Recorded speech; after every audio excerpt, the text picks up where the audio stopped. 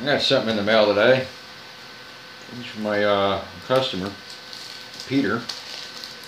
And uh, I've been waiting three or four days for this to show up, so let's see what we've got here.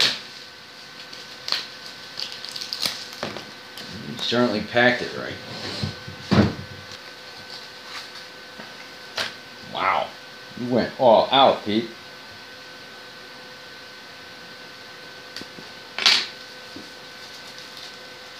Anticipation, and here we are.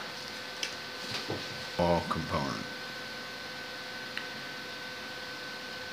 A connector for uh, a particular keyboard. I'm not sure. I'm not even sure which one it is.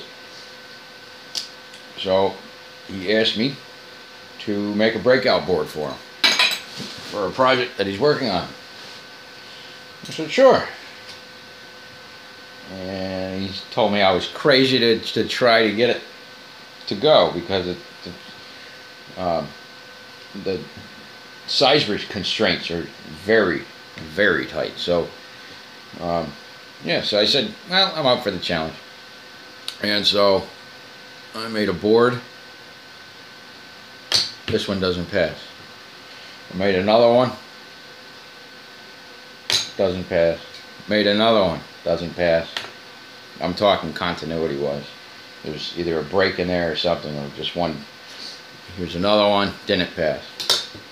Here's another one. This was actually a mess up on my part, and it didn't have to do with size constraints or the quality of my printer.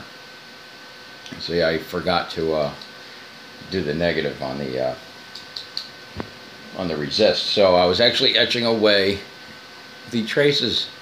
So I stopped it and eh, too late. Alright, so out of those boards,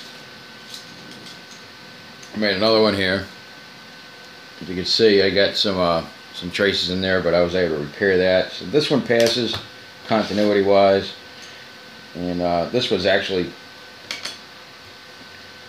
this here is the original design to see the traces and then I decided I'd respin the board to make it easier for uh, for my process. So this one here is the new design. Uh, both of these work. They pass. and I decided I'll do one more and you know so I did one that was came out absolutely perfect. And this is be the one that we'll be soldering to today she is you can see that there.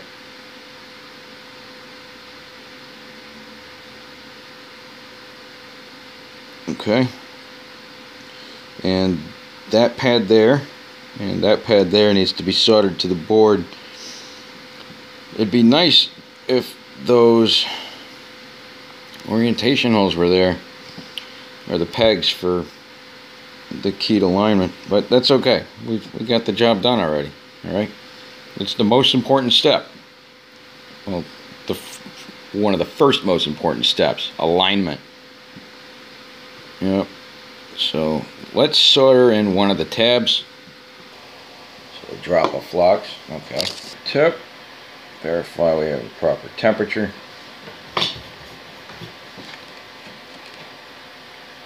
And proceed.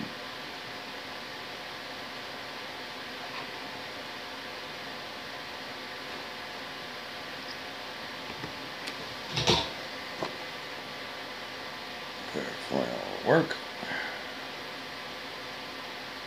Yeah, it's dead on.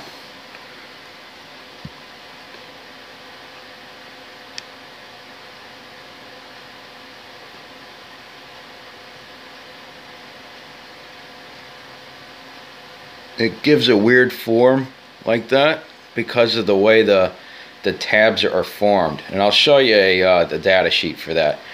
So yeah. But it's nice it's smooth it's clean going to clean with a uh, rubbing alcohol I'm going to use a new piece of tissue or uh, uh, coffee paper that I use I'm going to clean the connections one more time. I'm going to verify that I haven't damaged any of the pins. We are good. Flux.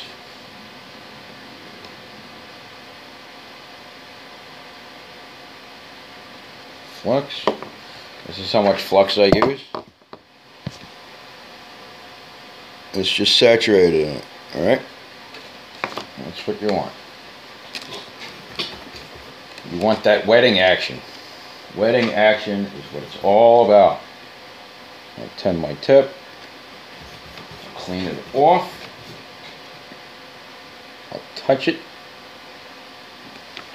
And I need my eye loupe for this job.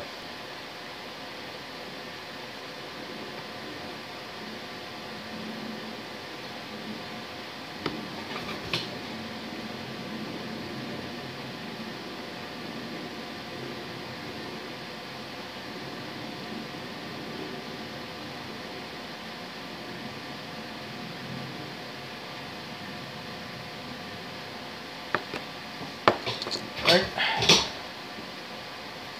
So we've got here. I want to clean that up and do one more inspection on it. I'm not sure, but I think I saw some a little bit of a bridge in there, but you gotta you gotta clean the connection to to be sure.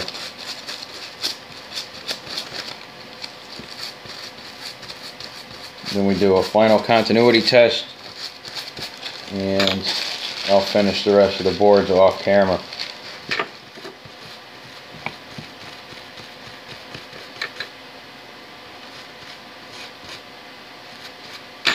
Alright, let me do one more look here. that. Oh yeah. And here's the other side.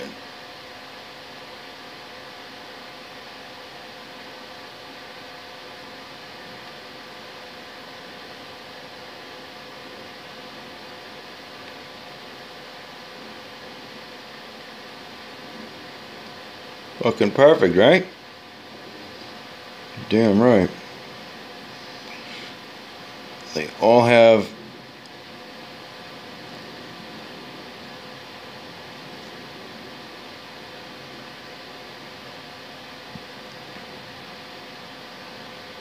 excellent fillets. But one on the end has a little bit more solder than the rest of them.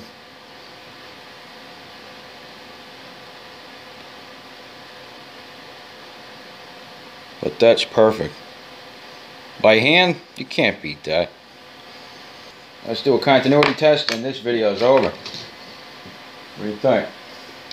Verify that, good. Here to here, good. Here to here, good. I'm gonna do a test, good. Here and here, good. Here and here is good. Here and here is good. Here and here is good. Here and here is good. Here and here is good. Good. And last one. Yeah, we're gravy, baby. Alright? So that's how to solder. It's my video on how to solder. There you go.